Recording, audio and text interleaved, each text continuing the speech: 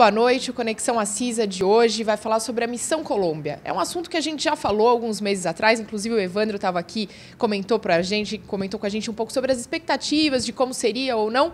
E de fato, em junho passado, eles foram para a Colômbia e teve uma série de, de, de, de, um desfecho muito bom, muitos números, inclusive, que daqui a pouco o Evandro Barros vai falar para a gente. Mas, Evandros, muito obrigada no primeiro momento por falar com a gente. Agora, Evandro Banzato, queria que você começasse falando uh, eh, para a gente um pouquinho sobre como, como aconteceu né, todo esse processo, quais foram os parceiros envolvidos nessa missão Colômbia e um pouquinho do que rolou ali. Né? É, teve uma série de governos, não só brasileiro, mas colombiano também envolvido, outros parceiros, empresários.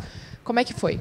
Olá, Mariana, boa tarde. Obrigado aí eh, mais uma vez pela presença de vocês, a oportunidade da gente poder falar sobre a, a Missão Colômbia. Foi uma experiência extremamente rica. O Evandro, que está aqui conosco, vai passar um pouquinho do, do, que foi, os números atingidos nessa, nessa missão. Mas, fundamentalmente, eu, o que eu sempre gosto de dizer que foi o trabalho em equipe. Né? Acho que toda, todo o apoio, estrutura que a CISA nos proporcionou, junto com a Prefeitura de Santo André, junto com o Governo do Estado de São Paulo, é, através da Invest São Paulo, e também a ajuda do Governo Federal, com a Embaixada lá, na, lá em Bogotá, que fez todo um contato lá com, com o pessoal da Câmara de Comércio de Bogotá. E, fundamentalmente, eu acho que assim, a energia de cada um dos empresários foi fundamental. O Evandro, que é, que é um empreendedor aqui de Santo André também, teve uma participação fantástica, brilhante, em apoiar a nossa ida até lá. E, e o que eu falei, foi uma experiência muito rica, extremamente valiosa. Eu acho que é importante, né, isso está no DNA aqui da Associação Comercial, eu acho que está no DNA também da, da Prefeitura, tem que estimular isso, o próprio governo do Estado, o governo federal. Isso foi fundamental e é, foi realmente fantástico essa, essa experiência que a gente teve lá na Colômbia. Perfeito. Agora, Evandro, você como sócio-diretor da Tecmobile também esteve presente na Missão Colômbia. Queria que você falasse um pouquinho para a gente justamente sobre os, quais negócios foram gerados, falasse para a gente um pouquinho de números também, que é importante, né, Evandro? Além, além da experiência em si, que foi uma, uma coisa, acredito que única e um passo, um avanço muito grande, principalmente para a CISA e os outros é, é, órgãos envolvidos, acredito que essa questão de números também é muito importante para os envolvidos, né? Esse trabalho todo foi voltado para resultado. Né? Desde o início, quando a gente começou a planejar essa ação, a gente sempre falava que a gente ia lá em busca de resultados.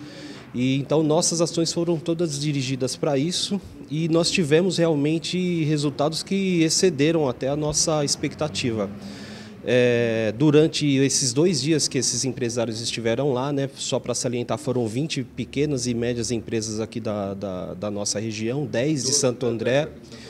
É, nesses dois dias eles realizaram 175 visitas com clientes, potenciais clientes previamente é, analisados e pesquisados lá na Colômbia.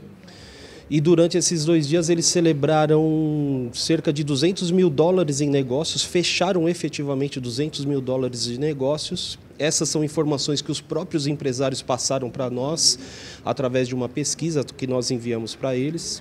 E a perspectiva deles para a concretização de novos negócios nos próximos 12 meses é de mais 1 milhão e 900 mil dólares. Então, são números é, expressivos, né? que eu, eu compreendo que são é, expressivos, é, e que partiu de uma, de uma ação que uma, uma ação totalmente na área privada, né?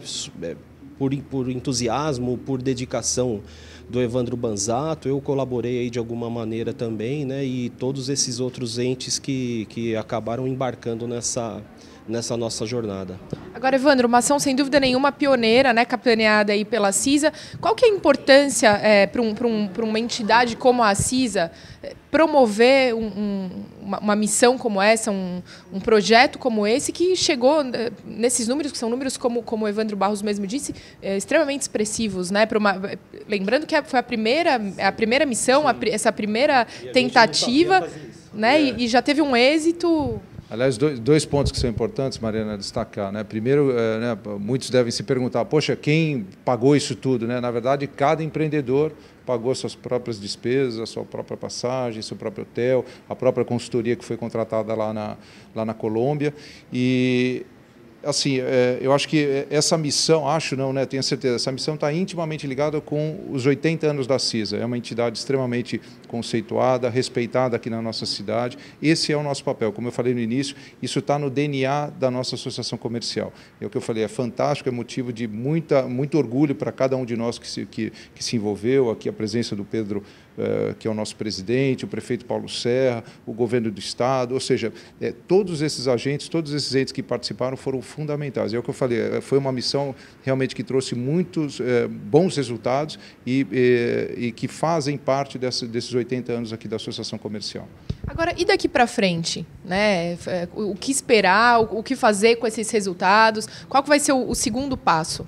É, ainda falando de resultado, né, os números que a gente passou aqui são apenas os resultados é, mais tangíveis. Mas a gente acredita que esses resultados vão muito além desses números. Por quê?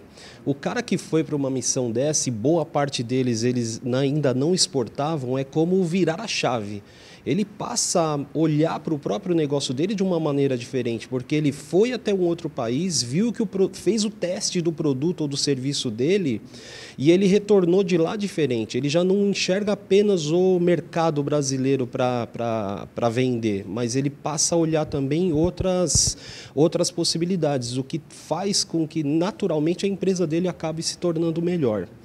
Daqui para frente, o que a gente espera é que novas ações dessas sejam capitaneadas aí, especialmente pela CISA.